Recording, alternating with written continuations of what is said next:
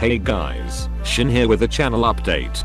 Sorry for no extreme versus videos for a while. Corona hit my country and has already infected 790 peeps right now in Indonesia.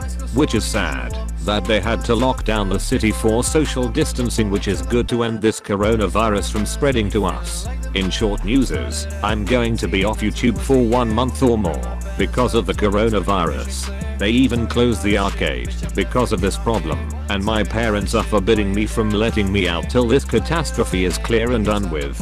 In other good news, I made a discord channel for you to join and ask stuffs about Extreme Versus or maybe play other games with other members. The link will be in the description, or if you want to send some feedbacks about my channel. Your opinions will be appreciated to make my channel grow, or to correct some stuffs you want to fix.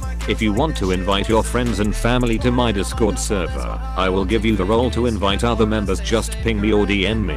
Thank you and sorry for the inconvenience, and I hope you all have a fun time at home doing your regular isolation activities.